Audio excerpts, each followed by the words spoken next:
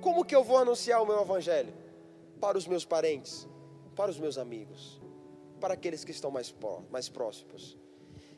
Eu quero te dar aqui alguns conselhos, pelo menos três. Converse com Deus sobre essa pessoa a quem você pretende evangelizar, seu amigo, sua, seu familiar. Converse com Deus, ore por ele, interceda, mas ore mesmo e ore muito. Depois, conecte-se com essa pessoa, se aproxime dela, seja amigo, se relacione. Missões, queridos, é relacionamento. Eu não faço missões sem me relacionar.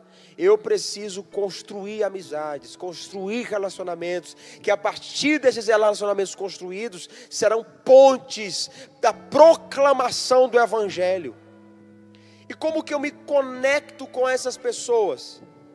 Estabeleça relacionamentos, escute mais, fale menos, encontre espaço para servir. Eu preciso fazer o que, missionário? Converse com a pessoa, escute ela, ouça os dilemas dela, as opiniões dela, e busque estar sempre servindo ela de alguma forma. Sabe aquela tua vizinha que não é crente? Prepara aquele bolo aquele café gostoso. E diz, vizinha, eu vou levar um bolinho hoje, para a gente comer na sua casa. Tudo bem? Você aceita? Pode vir, mulher.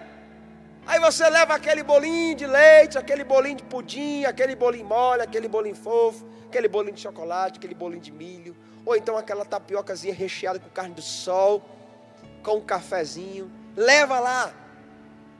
Aí você conversa com ela, na mesa, ela não é crente, mas você está servindo ela. Aí de repente ela começa a desabafar para ti.